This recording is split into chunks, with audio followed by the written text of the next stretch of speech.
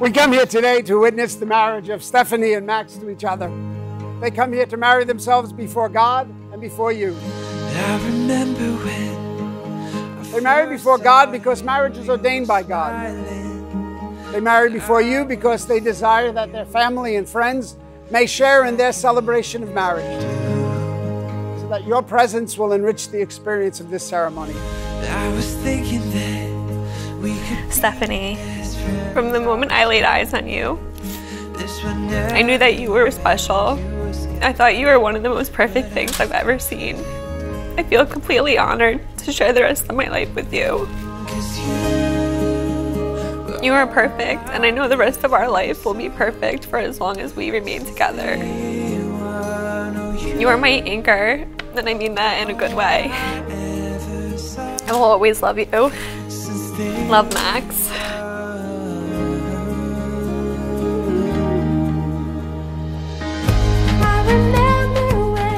Stephanie has been there for me numerous occasions. Everybody in this room deserves a friend like Stephanie in their lives. And I am grateful and blessed to have her in mine. I knew from the instant Max took care of Stephanie's needs above himself, and my job of guarding Stephanie's heart was over. To Stephanie and Max, I love you both. Congratulations. Max has been there for me through some of the most difficult times in my young life. He's also one of the most honest and incredibly decisive people I know. Steph, while he is way too lucky to have you, you are the perfect match for this man. You're also one of the kindest, most caring people I've ever had the pleasure of meeting. And when I look at the two of you together now, I think to myself, this is how sure I want to be.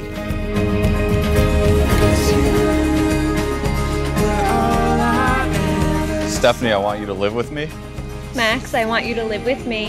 just as you are. I chose you above all others. Share my life with me. I love you as I love no other. Love is the one thing. That no one can take from us. Love is the one thing. That we can give constantly. And become increasingly rich in giving. I want to love you for yourself, In the hope that you will become, all that you can be, I promise to honor this pledge. as long as we both shall live. Tuna. I can't believe the day is finally here.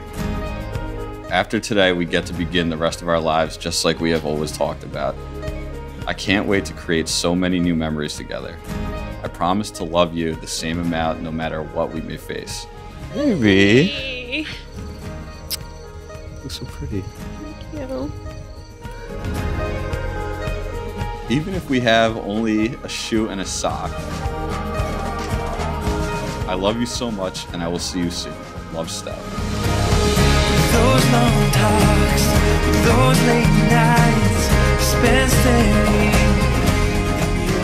There was a time, long ago, when Max might have been considered a little bit of a ladies' man. When I met Stephanie, I knew right away she was different. Since that time of Max and Stephanie getting together, I've seen my brother change for the best. I can't wait to see you grow. I'll be there for you every step of the way.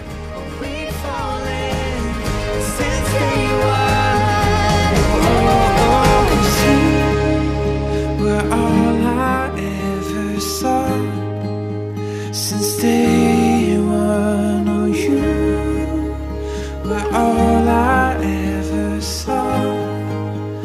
And now may the God of love grant you to live in such harmony with one another, acknowledging Jesus Christ as Lord, that the Spirit may guide you in the path of peace and joy forever. Amen.